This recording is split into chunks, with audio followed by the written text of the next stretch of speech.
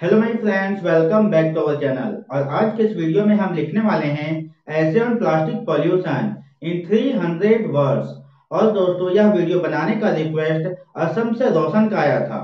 And I hope यह video आपके लिए बहुत ही हेल्पफुल होगा। तो चलिए दोस्तों, लिखना शुरू करते हैं।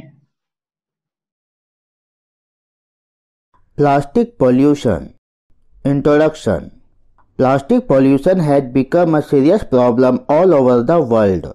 The use of plastic is increasing rapidly. Plastic pollution is harming our health and environment. Plastic Plastic is an accessible and cheap material which makes it possible to manufacture many products. But its excessive use has created a big problem for us.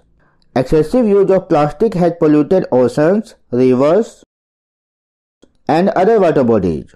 Plastic is so durable that it can remain intact for a hundred years or more, due to which it causes a large amount of pollution.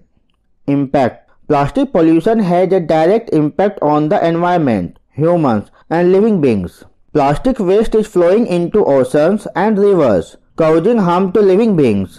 Due to plastic pollution, people are facing disease due to climate change, loss of wildlife, and drinking polluted water.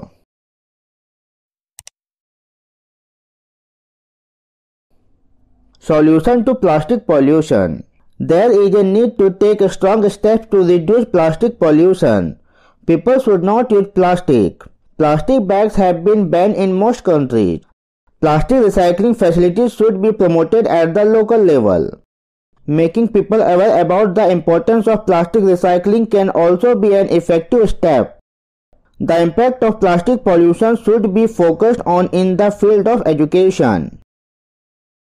Conclusion Plastic pollution is a serious threat to our environment. We need to take positive steps to deal with this.